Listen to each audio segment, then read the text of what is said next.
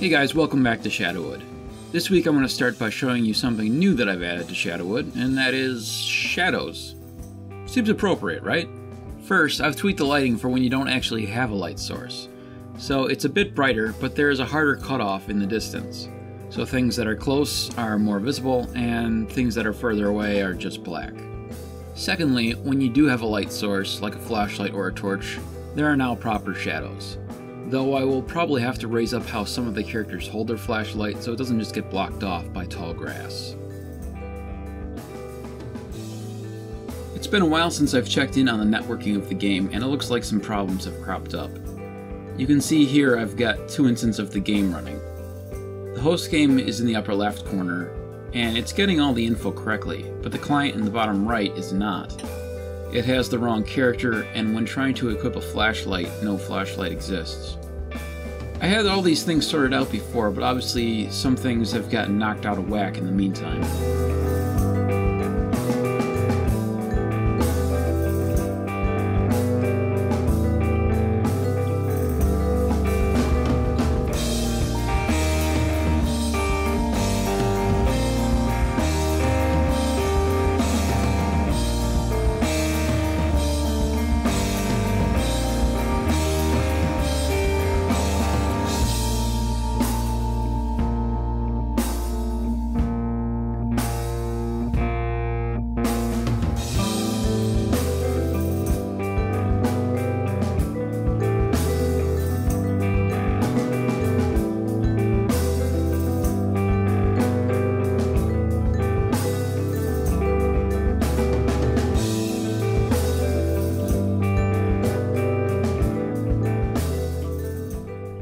After much blood, sweat, and tears, I've finally got these things uh, displaying the proper characters here. So you can see here's the host game, and then in Unity here is the client, and the problem has been that the client is not showing the proper host character. So here my host character is Betty, and you can see that is showing up properly in there.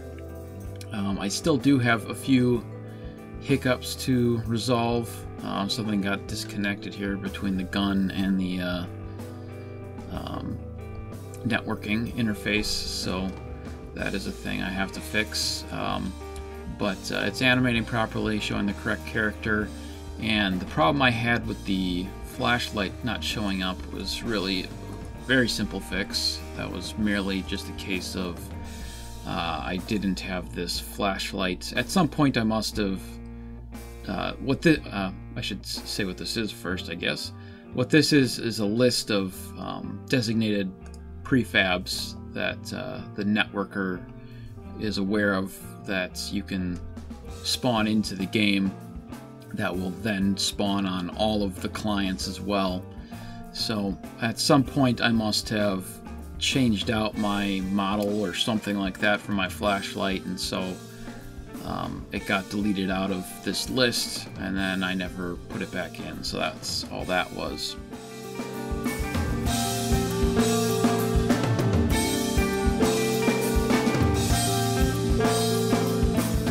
Earlier this week, I started working on setting up a simple scene for the main menu here.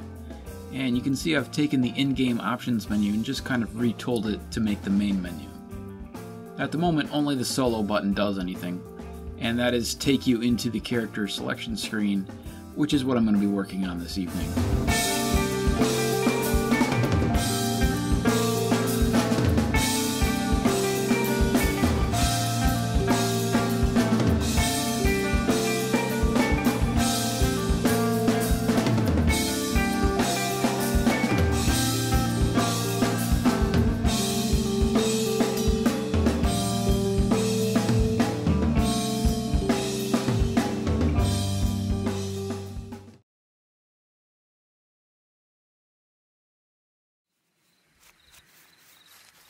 It's Saturday now, and I wanted to get started on adding some new mechanics to the game. First of all, I want to add crates to the game. But rather than just smashing crates, you'll need a tool to pry them open. Right now you'll need the knife, but I will be adding a crowbar down the line as well. Additionally, these towers are going to be interactable as well, as you'll be able to place a specific item into the cavity here.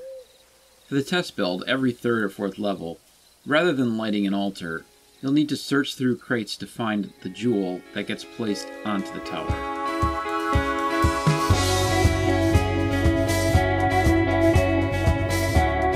So you can see here I've imported the crate model into Unity and I've got some basic interaction. If you're within range and you have the knife equipped, the crate will prompt you to pry it open. For the time being, the lid just pops open, but at the very least I plan on making this take some time to open up, so if there's a monster bearing down on you, there's a little bit of pressure there. I may also make a small mini game out of it, but for the time being it just pops open.